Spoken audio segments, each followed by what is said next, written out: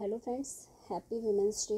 आप सभी महिलाओं को समर्पित एक छोटी सी कविता हम हमारे इस चैनल के माध्यम से आप सभी के सामने लेकर आए हैं। उम्मीद करती हैं आप सभी को पसंद आएगी। अगर अच्छी लगती है तो लाइक, शेयर ज़रूर किया करिए। जैसा कि आप सभी को पता है, आज 8 मार्च, यानी कि अंतर्राष्ट्रीय महिला दिवस के रूप में मनाया जाता है। महिलाएँ हमारी राष्ट्र की निर्माता होती हैं तो उन सभी महिलाओं के लिए हमारी ये छोटी सी कविता समर्पित है। शुरू करती हूँ अपनी इस कविता को। नारी हूँ कमज़ोर नहीं, अब अपमान सहन ना कर पाऊँगी।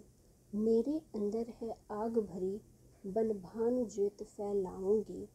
अब अन्याय सहन ना कर पाऊँगी। अपनी हर कर्तव्य निभाऊँगी, किंतु शोषित नहीं रह पाऊँगी। अपने लक्ष्य को करने हासिल, हर चुनौती पार कर जाऊँगी। तेरी मुट्ठी में कैद समझना मुझे, तुझको खोखला कर जाऊँगी। गर मिले प्यार, सम्मान, अधिकार मुझे, खुद को तुझ पे कुर्बा कर जाऊँगी। अन्याय सहन नहीं, अब करना।